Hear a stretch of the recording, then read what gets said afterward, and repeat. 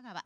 2艇がダッシュ5コースは5号艇の上田紗奈自身初優勝をかけて6コース6号艇の今井ゆりは今年6月にデビュー初優勝を飾ったばかりです。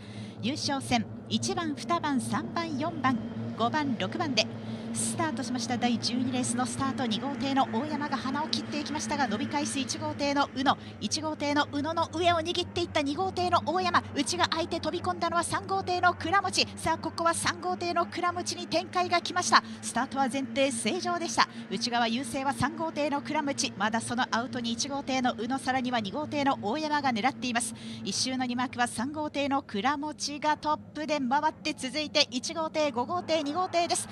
ここは3号艇の倉持が振り切った。先頭は3号艇の倉持リー。2番手が2号艇の大山千尋3番手が5号艇の上田紗奈となりました。上位体系3番2番5番で2周目1マークまずは3号艇の倉持続いては2号艇の大山が狙ってきますが先頭は3号艇の倉持です。2番手が2号艇の大山。さあ3番手は入れ替わって4号艇の香川。4番の香川が3番手に浮上しました。4番手になった5号艇の上田紗奈後ろに1号艇宇野弥生。6号艇今井より。2周の2マークトップで3号艇の倉持続いて2号艇の大山。3番手に4号艇の香川。巻き返してくるか5号艇の上田紗奈ですが3番手は現在4号艇の香川。上位体系3番2番4番で最終周回です。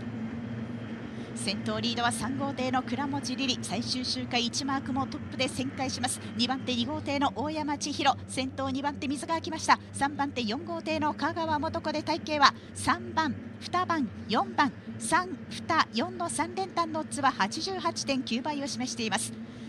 一周一マーク展開捉えていきました。3号艇の倉持リリが自身2度目の優勝にひた走っています。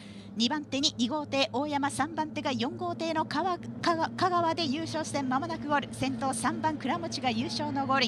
2番大山。4番香川ゴール。5番上田ゴール。1番宇野。6番今井がゴール。以上前提ゴールインしました。真面目に、はい、真面目にプロペラやってた甲斐がありましたね。はい、すっごい真面目にやりましたね。うまくできましたか。いや、合ってなかったです。あ、そうはい。福岡好きになってでしょ？はい、なりました。はい。はい、まだね、にあの二度目の優勝ですけれども、はい、もうもっともっといっぱいしてるようなそんな雰囲気出てます。